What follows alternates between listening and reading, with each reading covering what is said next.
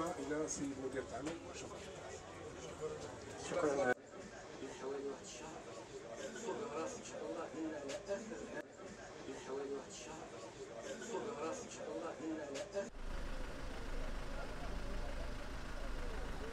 الإحصائيات الخاصة برخص السياقه الكيلومتريه من 1/1/2020 إلى قمنا بزيارة إلى ولاية سوق هراس عاينا من خلالها عدة مشاريع ومرافق عمومية الهدف من, من هذه الزيارة هي الوقوف على مدى التكفل بانشغالات المواطنين وتحسين الإطار المعيشي لهم.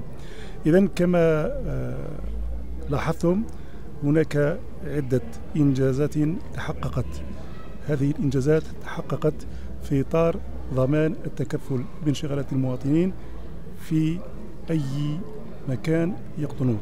يعني كل المواطنين يجب أن يستفيدوا من كل ضروريات الحياة.